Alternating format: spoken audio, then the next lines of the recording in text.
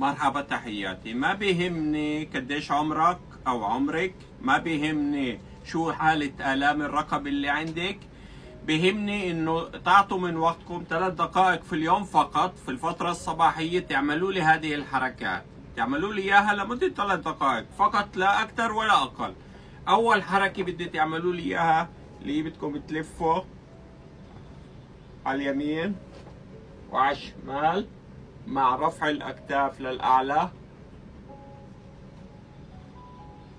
ممكن تلاحظوا والأكترية حتلاحظ إنه في جهة أكثر من جهة فبضلني أحاول بدون ما أعمل أي ضغوطات أو أي شيء فقط يمين شمال. الحركة الثانية تحط إيدي على صدري اللي أثبت العضلات الصدرية وأعمل هاي الحركة فقط إني أطلع للأعلى.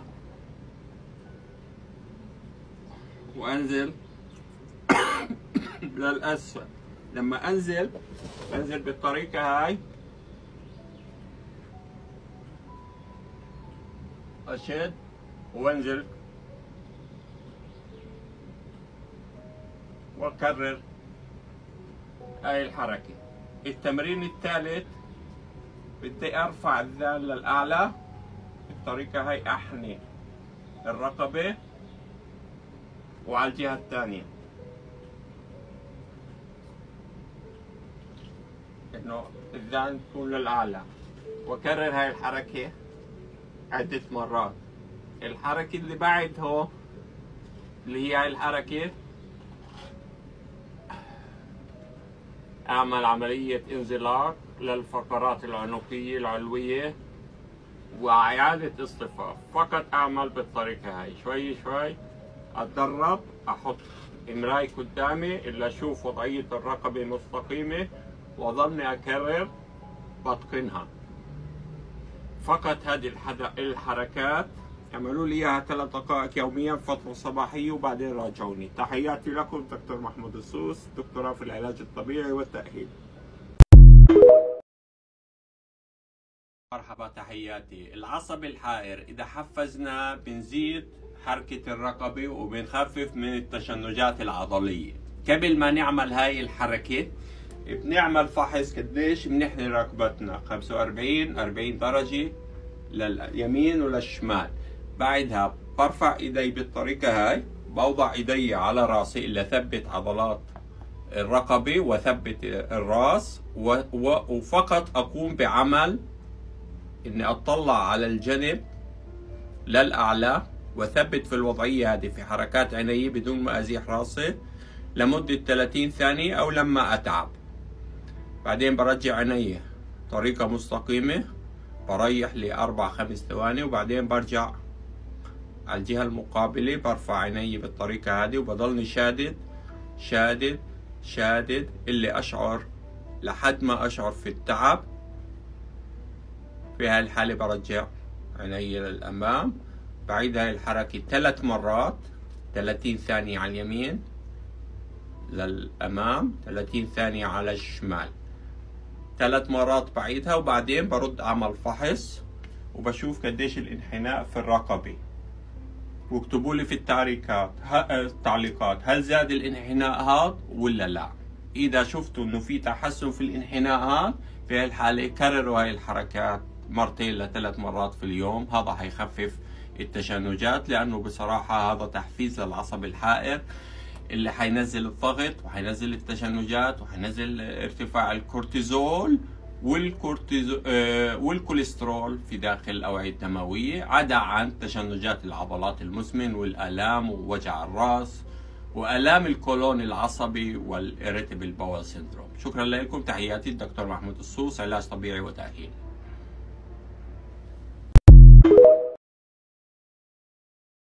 الساعة العاشرة من مساء كل يوم أوضع صحن من الزبادي أوضع عليه نص ملعقة من الخمير البلدية وأوضع عليه نص ملعقة من السمغ العربي وحركه وأحط عليه ملعقتين من الليمون وملعقتين من زيت الزيتون.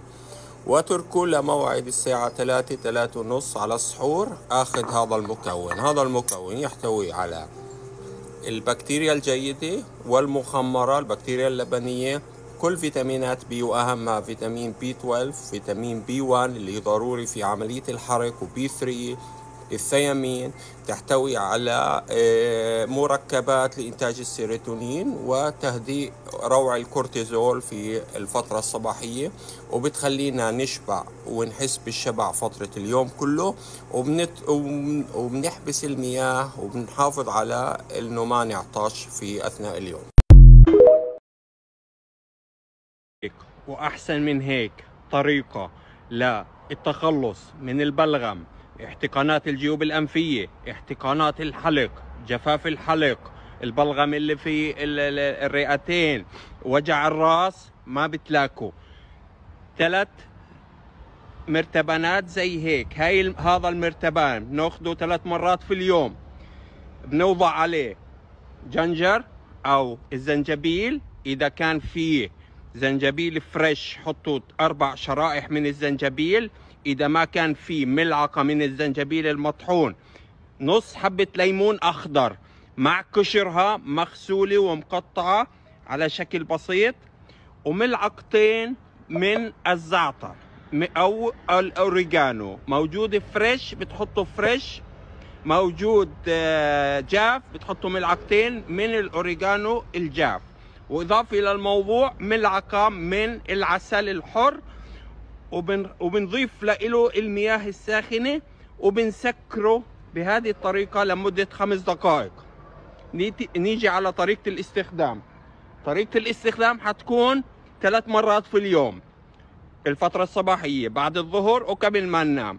نفتح المرتبان فبتلاحظوا البخار اللي طالع إذا شايفين هذا البخار لما في بعض الأحيان بنصحى الصبح وبنلاحظ آلام حادة في أعلى الرقبة مع الرأس. هذه الآلام آلام عضلية وتشنجات فبدي أعمل لها تمارين بسيطة ستريتشنج خفيف بدير وجهي للجهة المعاكسة بحط إيدي وبصير شوي شوي أسحب بدون آلام أوقف ثلاث ثواني في شد الرقبة وأرخي. وأكرر هاي العملية مرتين ثلاث. بعدين أحط إيدي ورا ظهري بحركة تسهيل حركة الكتف. وبعدين التمرين الثاني بصير أعمل عملية التفاف. شوي شوي بدون إثارة للألم. وهذا التمرين بيكون آخر تمرين بسويه. برجع راسي للخلف وبوقف في هذه الوضعية. عش... آه، خمس ثواني ست ثواني ثلاث ثواني قد ما أقدر أتحمل وبعيد تكرار هذه العمليات كمان مرة. ما دمت تساعد الناس وتصنع المعروف إليهم وتحسن إليهم أبشرك بثلاثة عطايا جاءت بالسنة النبوية. يغفر ذنبك ويستر عيبك ويكشف همك.